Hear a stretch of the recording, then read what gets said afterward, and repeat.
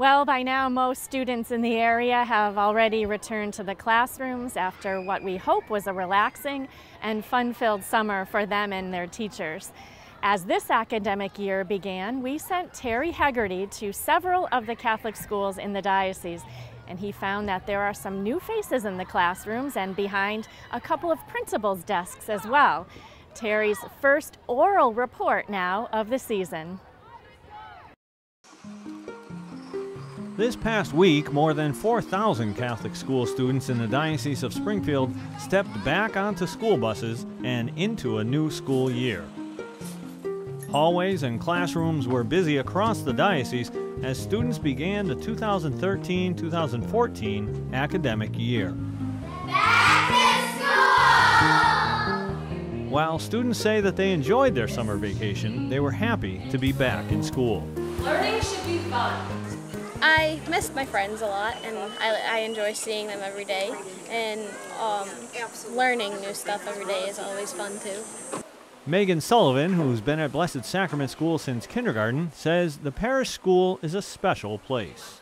Having nice friends here, and um, nobody's mean, and the teachers are very nice. It feels good to be back. I mean, it felt like I've been here for a while by now. I mean, yeah, you're always nervous on the first couple days, so um, but it definitely got better. I like the teachers, and it feels uh, it feels great. Back to school means new challenges and new opportunities, but not just for the students. This year, several diocesan schools have new personnel, and they are also excited about classes being in session.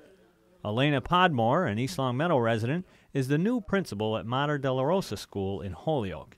She has worked in public education for the past 17 years what drew me here to this particular school is the whole idea that I can help share my love of God with the children that are here in the school and to continue to help them to see really that we're here to serve others and to help others. And I truly can't think of anything better than trying to live out God's will for me each day and showing children, you know, how to figure that out, how to listen for, you know, what is it that God has given me for special gifts and talents and how can I use them for His glory. Just down the road, the new principal at Holyoke's Blessed Sacrament School, Mr. Philip DePietro, a Suffield resident, was a longtime educator and principal in Hadley. He had retired in 2011, but just couldn't stay away from the career that he loves. Well, I found that when I was retired, I really missed the kids, and I missed the camaraderie and the esprit de corps that, that develops and exists between the administration and staff. This is a relationship business, and uh, it's relating to kids and it's relating to fellow educators. Behind the principal's desk in Pittsfield this year for St. Joseph Central High School is Dr. Amy Gelinas, a resident of Dalton who started on the job just a few days before the September 4th start date of the school. This opportunity for me is a chance to make a difference on, on a not just education, I was a science teacher, but on a spiritual level and a more, more holistic level for kids. And I, I think that um, with society the way it's going today, we're missing, a lot of kids are missing that moral compass that a Catholic high school can help fill. Dr. Gelinas came to the job with nearly 25 years of experience as an educator. She says that she loves being in education.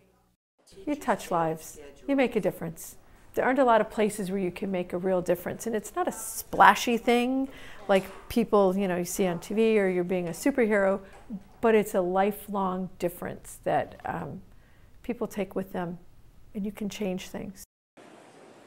The schools held opening masses emphasizing the importance of beginning the school year in prayer.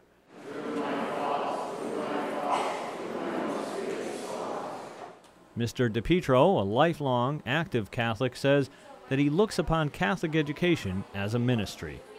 I think it's a great advantage for me, being a practicing Catholic, to be able to promote Catholic values uh, to the students here at Blessed Sacrament School and to, to, to really advance uh, our mission, which is uh, everything that we do is done in conjunction with or pursuant to teaching our Catholic faith to our, to our students modeling those principles of our faith, you know, respect and reverence and uh, compassion and, and, caring, you know, the, the, the message that Jesus left us.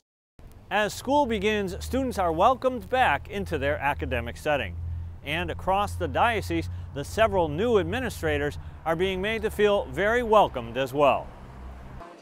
Mrs. Podmore showed off the homemade greeting card and the flowers that were given to her by students and staff.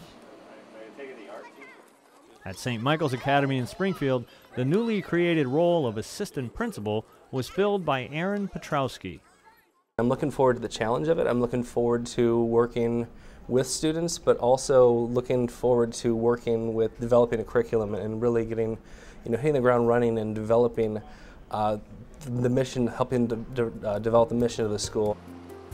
Also this summer, St. Mary Parish in Westfield made an organizational change to its school campus. They have combined St. Mary Elementary and St. Mary High School under the umbrella of St. Mary's Parish School. They still serve students from pre-K through grade 12, but they're doing so with a single administration, which includes Sister of St. Joseph Christine Lavoie as Dean of Students of the elementary school, Michael Horahan as Dean of Students of the high school, and Nicole Nietzsche as head of school. The move was made to allow the schools to operate with greater efficiency. Gerald says he's looking forward to another successful school year. I'm hoping that I get I keep my grades the way I'm keeping them. I mean, I I've tried my best and I hope to maintain that um, that grade level. So now that vacations have given way to busy school days and regular homework, it looks like the Catholic school students and the new adults accompanying them have gotten off to a great start. Reporting for Real to Reel, this is Terry Hegarty.